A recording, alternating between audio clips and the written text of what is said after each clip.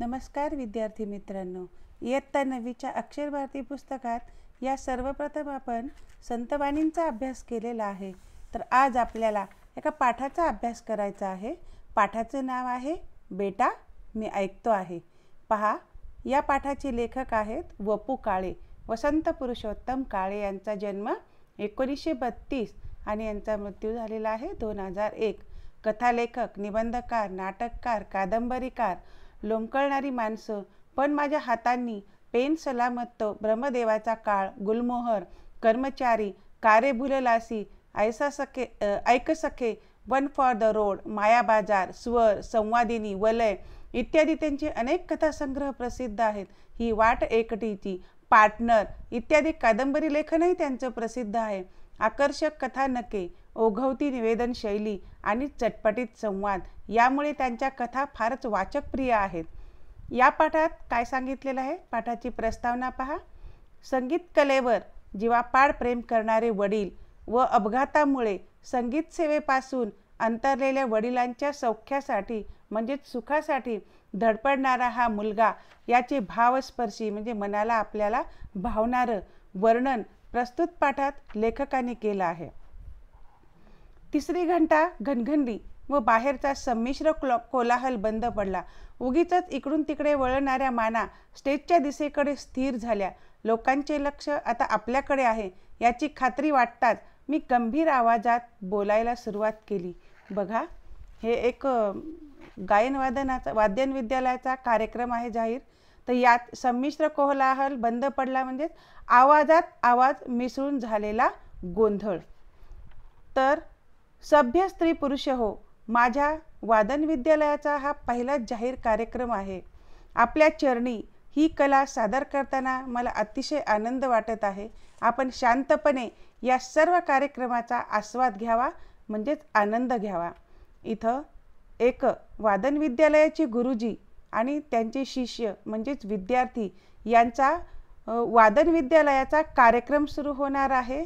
यासाठी यामध्ये हे गुरुजी स्वतःच संचलन करत आहेत.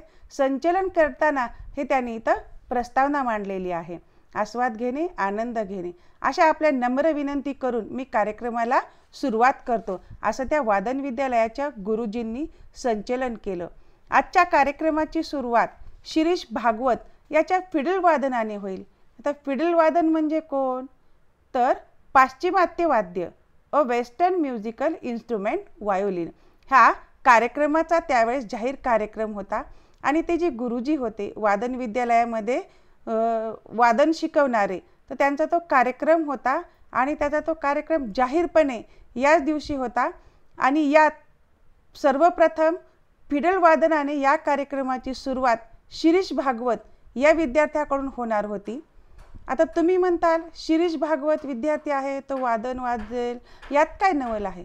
पण ते म्हणतात की हा विद्यार्थी माझ्या विद्यालयात नुकताच शिकायला आला आहे. म्हणजेच तो नौखा आहे. त्याला सरावही नाही जास्त. कलेच्या प्रांतातील हा नौखा मुसाफिर आहे. कला कोणती? फिडलवादनाची कला.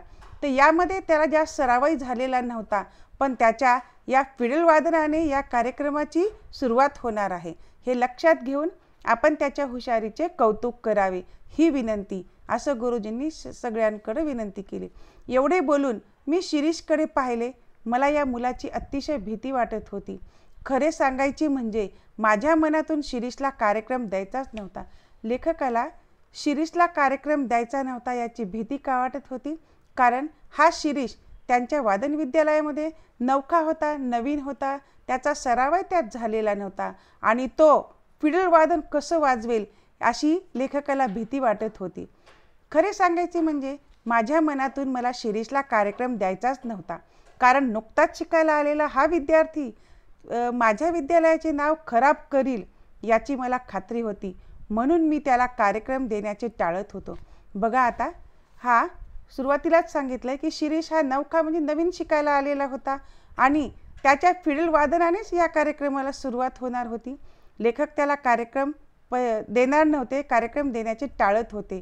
तर याचं सर्व कारण पुढं लेखकानं दिलेलं आहे का टाळत होते?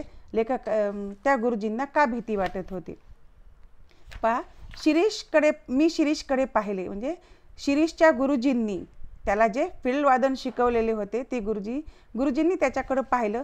त्याच्या चेहऱ्यावर धीटपणा व आत्मविश्वास पुरेपूर प्रतिबिंबित झाला होता. ज्यावेळेस स्टेजवर शिरीष बसला होता फिडल वादन करण्यासाठी शि गुरुजींचं लक्ष शिरीषकडं गेलं. शिरीषच्या चेहऱ्यावर एकदम आत्मविश्वास दिसून आला. त्यामुळं त्यांच्या गुरुजींनाही बरं वाटलं.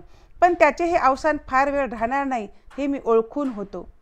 तर हा जो आत्मविश्वास शिरीषच्या चेहऱ्यावर दिसून आला तो चेहरा आत्मविश्वास लगेच गळून पडला हे गुरुजींनी ओळखलं. का? पहा. पडद्यावर जाऊन बाहेरचा श्रोत्रवृंद नजरेला पडताच त्याचा हा धीर सुटेल याची मला खात्री होती. तर झालं आहे